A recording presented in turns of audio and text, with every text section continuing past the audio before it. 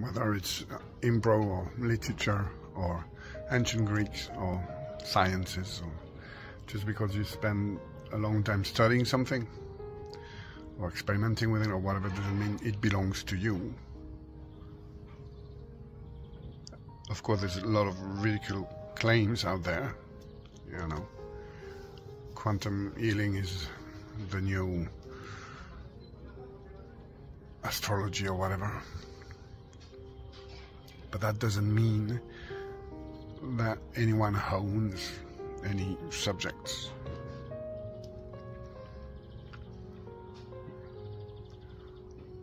That's the beauty of it. Knowledge is free.